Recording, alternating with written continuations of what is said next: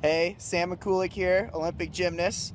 And a lot of people ask me about how to manage stress in these stressful times leading up to the Olympics.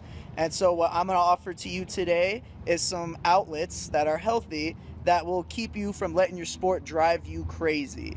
So, example one when it's nice and sunny outside, start working on that Rio Beach bod. You know what I'm saying? Speedos out. So, outlet number two is to purchase a hammock. It's definitely the best thing you'll ever do when it comes to relaxation because when you sit out here and just start reading, you get lost, which also leads to outlet number three read Harry Potter. If you haven't read it, you need to. And if you have already read it, reread it because it's one of the greatest things I've done leading up to this Olympic Games.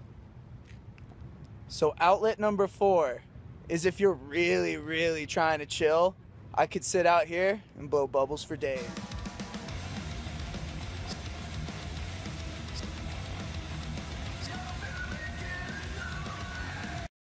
Sponsored by Budweiser.